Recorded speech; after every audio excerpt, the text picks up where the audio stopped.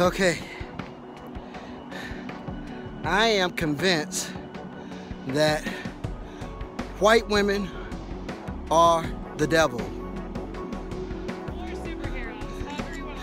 Superheroes. My idea of coming to the waterfalls and hiking the waterfalls is you drive up no less than 100, maybe 200 feet from the waterfall and you walk to the waterfall, take your picture, bam.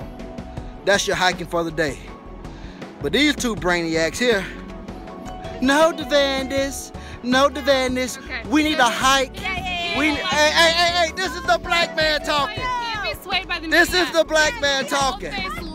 This is the black man talking. White devils get got back. text from Stephanie. Hey, Devandis is set on going to the falls, so you can still tag along even though Todd can't go. I was like, yeah, I'm down. Yep. Okay, all key key thing, idea. key thing. Go to the All falls.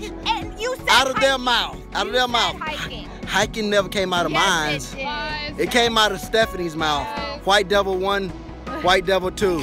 See, she turned her back because the truth is being spoken. Whatever. Thanks a lot, Todd. Yeah, thanks a lot, buddy. So, that's my adventure in hiking the Columbia River Gorge with white girls.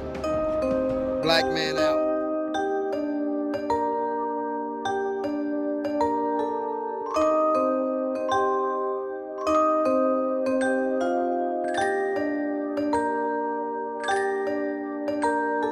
Oh.